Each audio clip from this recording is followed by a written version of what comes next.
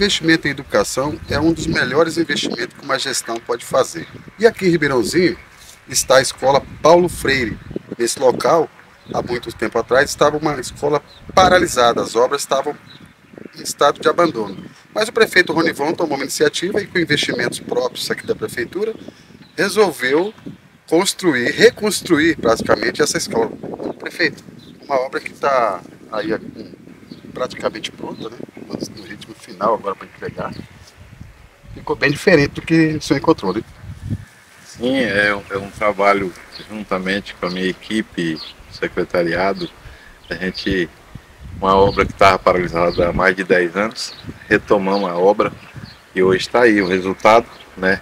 Investir na educação, acho que o dinheiro da educação tem que ser investido em educação, sinal que é, o dinheiro bem investido traz resultado. É isso aí que você está vendo, uma obra que a gente um sonho que tinha né, da nossa população e dá mais oportunidade aí para nossas crianças, nossos ensinadores, nossos educadores. É, a gente só tem é, parabenizar o nosso pessoal, nossos professores. Isso aí é um presente para a nossa população, né, que estamos terminando nosso mandato aí. Então, proporcionando isso aí para a nossa população, dar mais conforto para nossos educadores, para os nossos alunos, nossos jovens, quem vem crescendo no dia a dia e dar mais conforto para eles. Aqui ainda, senhor estava falando que ainda vai colocar um playground, é, vai ser colocado também aqui no fundo um pomar, é, vai melhorar ainda mais, né? Vai dar mais comodidade para as pessoas que vão usufruir desse espaço. Né? Sim, tem. Está concluído 100%. Vamos, estamos planejando assim a entrega agora no início do próprio próximo mês de agosto aí. Tem o, os playgrounds, né? Nós, a intenção é a gente fazer uma hortaliça ali, fazer um pomar, né? Para nossas crianças também cultivar. Né? É, isso faz parte do ensinamento e a gente trabalho diferenciado. E no antigo espaço onde funciona hoje a Paulo Freire, o que, é que vai ser destinado ali naquele local? A gente vai estar trazendo o pequeno polegar, que o prédio está bem danificado, né?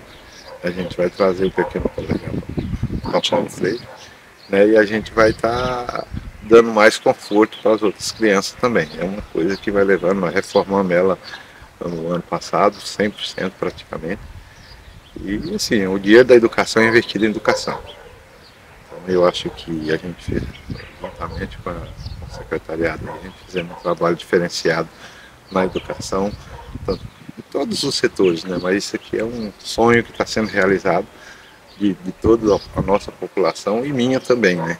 que está entregando uma construção dessa que não é fácil, né? mas assim, com economia, com gestão, a gente entregamos, vamos estar tá entregando essa escola aqui para nossa população. Agora, por muitos anos ele ficou parado aí e até desacreditado, né? As pessoas é, questionavam se ia funcionar alguma coisa aqui algum dia. E a prova está aí, né? Sim, esse é um projeto do FNDE lá do passado. E a gente buscamos é, lá, pegamos a obra, puxamos a responsabilidade para cima da, da, da, gestão. E está aí o resultado, né? Assim, a gente tem a agradecer muitas pessoas que nos ajudaram também, né? mas o resultado é, é, muito gratificante. Existe a possibilidade também de buscar uma parceria aí, talvez não no governo do senhor, mas no próximo governo, de abrir inclusive aqui um curso de nível superior, buscar uma parceria com a Unemat, por exemplo. Sim, é um sonho, né? Assim, a gente está falando, é, hoje nós temos uma estrutura, né?